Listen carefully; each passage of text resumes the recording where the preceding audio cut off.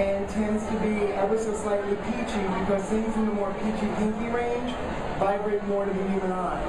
So if you want to create interest right at the center of the face, go for a peachy tone with a light skinned person, go for a more orangey tone with a darker skinned person.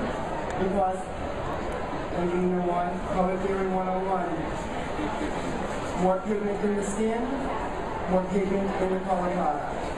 So if it's peachy on a fair skin, it's going to be more orange and more saturated on a darker skin to work correctly.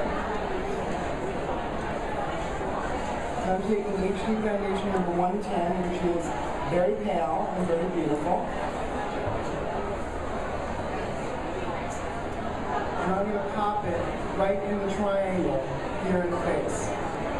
See where I'm popping that?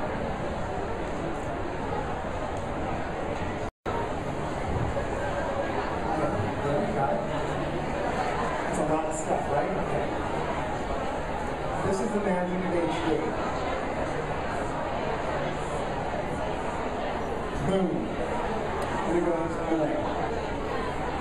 Isn't that amazing? Don't you love that?